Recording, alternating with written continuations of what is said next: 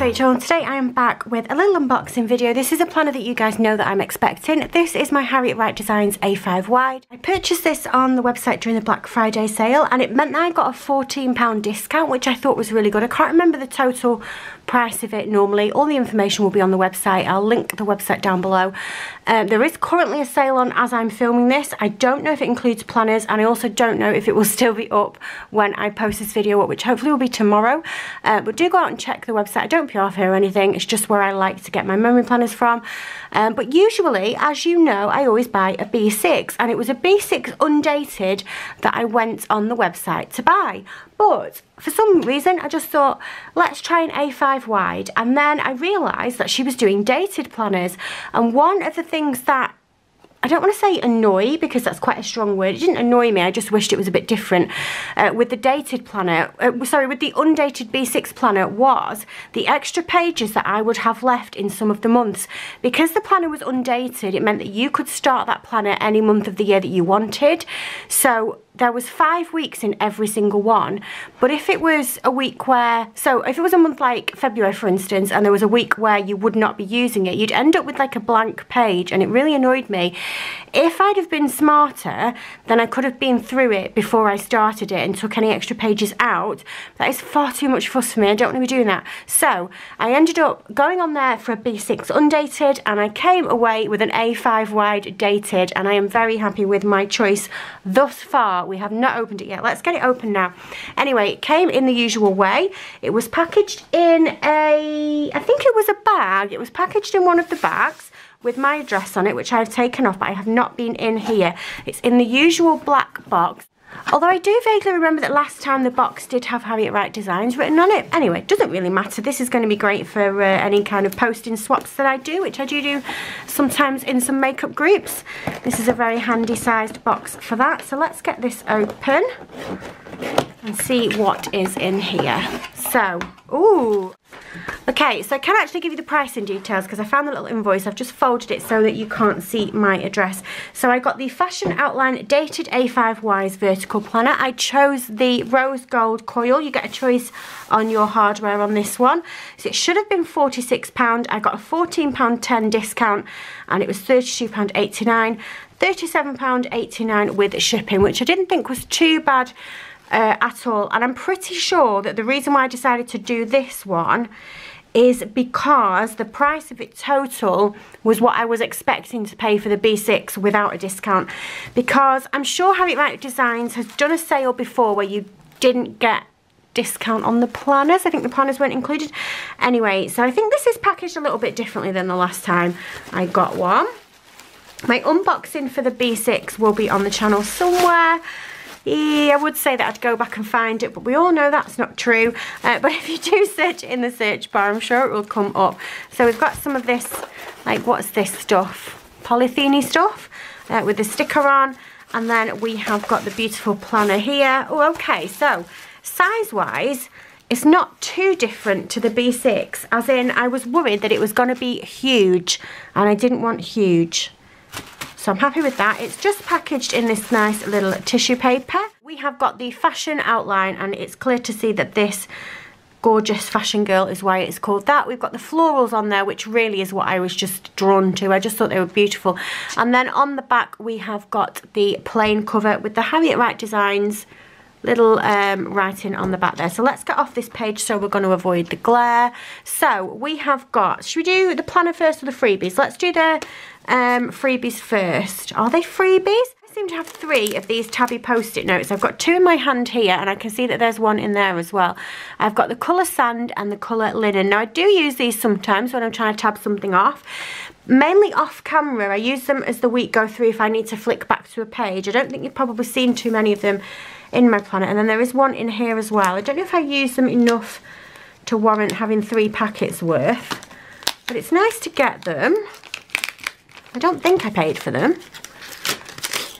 I definitely didn't buy them, but I don't know if like they're included in the price of the bundle. I'm making a mess of this wrapping. Okay, so something that you did get in here is, there's the other one of those, which seems to be the same colour as that one. So I've got a spare.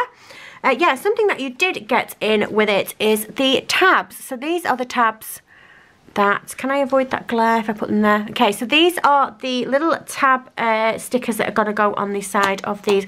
Also, something that I'm just noticing is that these dividers are not as thick as the last Harriet Wright Designs planner that I had. So these tab stickers come automatically in the bundle and they will come matching the coil choice that you make, the colour of the coil. Um, I think previously you did have to pay separately for these. You could pay separately for them and add them in, but uh, now they just come with the planner, which is nice. I'm not sure if I'm going to use them. I might buy the ones from Josephine Bow Designs because I love those ones, but I'm not sure yet. We'll see. I'll see how I feel. I'll see how I feel. So, A5 wide, and we've got 12 months, and it is dated. First page is this nice vellum page. Uh, so that's a nice thick vellum. Then I've got the planner belongs to this page is a page that has always been in the planners. Plan a life you love. There are dreamers and there are planners. The planners make their dreams come true. And that is a quote from Edwin Louis Cole. And that is always in there as well. And then we get into the year at a glance. We've got 2023 and 2024. I have a tip for you guys actually. I saw this in a Facebook group. I can't credit the person. Unfortunately, I'm not sure who it was that first uh, figured this out. But if you have any 2017 dated planners that you did not use, you can use them for 2023 because the calendar is the same apparently. I haven't fact checked that, I've just trusted the person on YouTube that I don't know. But apparently if you have any 2017 uh, diaries, or I guess if you went on Amazon and searched for a 2017 diary, it would be cheaper than a 2023 one. Anyway, yeah, the dates match up to 2023, so there, information for you that you might find useful. 2023, 2024, and then we are on to this page here, which has got a grid page. Now, what I'm going to do with these pages, if I find any through, there might just be a few at the front and most at the back, to stick some pictures on them, I think. Then we are on our first divider. So these acetate dividers are not as thick as they used to be. You could never have bended, bent. You could never have bent the other ones, but I am bending this one just fine, and I am a fan.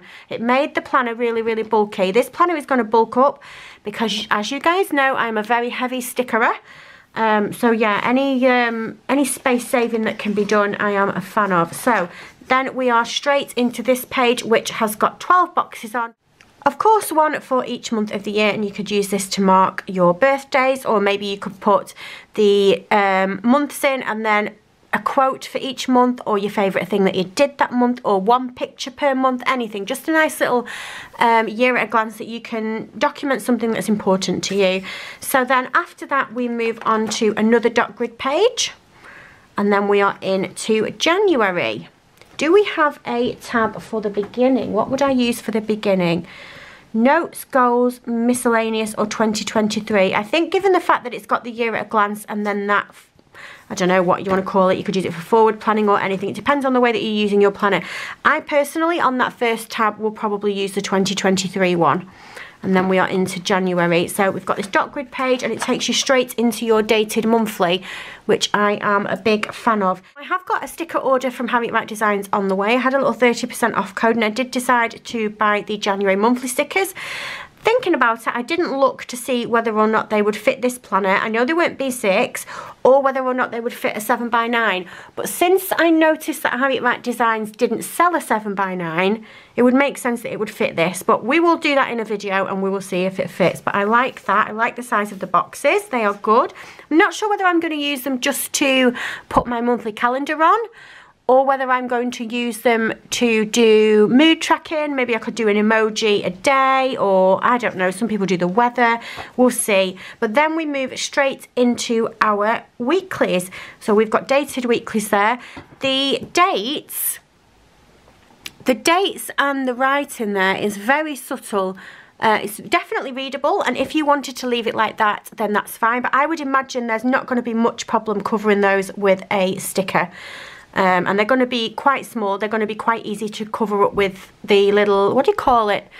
Why, why do I want to say the fix-it? What is that stuff? Tipp-Ex.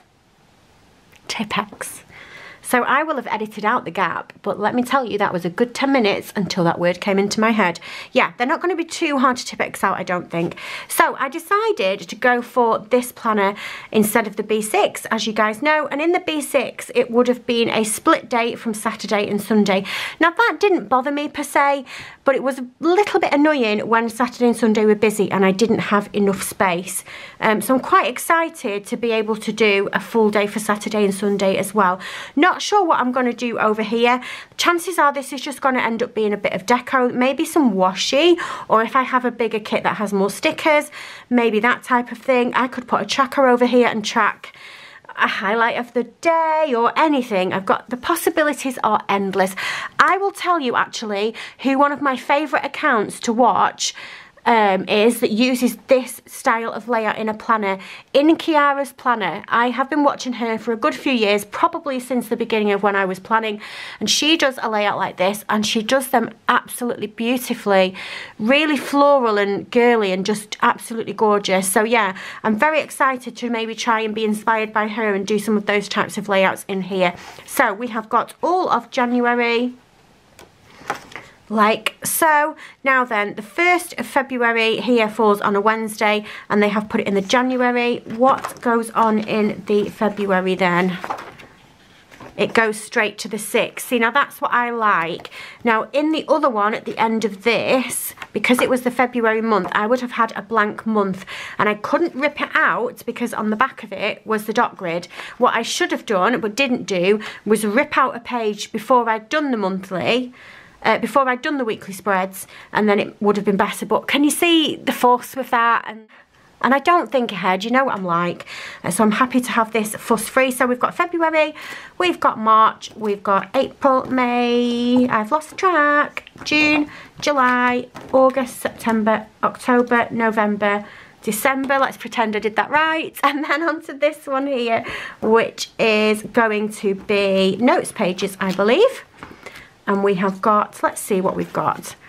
We have got, oh, a variety. We've got dot grid, we have got square grid, just grid, more grid.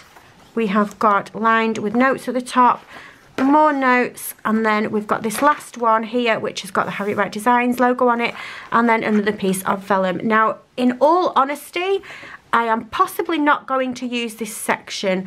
I'm going to leave the tab there and maybe I will leave the notes pages there but if I find that my coil is getting too chunky I will possibly remove these three pages but we'll see we'll just see what happens. So yeah, that is my Harriet Wright Designs planner for memory planning in 2023. And I'm really, really happy that I've chosen that size actually. I was worried that it was going to be bigger than I expected it to be. But actually, I'm pretty excited about this. Uh, I'm going to try and do more plan with me's in my memory planner. I did finish my memory planner last year. Oh, that's... I am going to finish it. I'm not as far behind as you might think, Robin. I know Robin will be tutting behind the camera at that uh, because she laughed at me last year so bad. It was like um, August and she's like, where are you in your memory planner? And I was like, oh yeah, I'm in March. she used to laugh at how far behind I was. Um, I'm only one month behind and I will catch up. Uh, but yeah, because what was happening was I was doing spreads in it while I was like watching something on Netflix. But I'm going to try and do more on camera because it's a different layout to what you're used to on my channel. And I think um, I think there'll be people that will enjoy those videos. But yes, that is my Harriet Wright Designs A5 wide planner that I'm going to be using for memory planning in 2023. And that's going to be it from me for today. If you like this video, if you can give me a thumbs up and if you subscribe, I love you forever and I'll see you soon. Bye!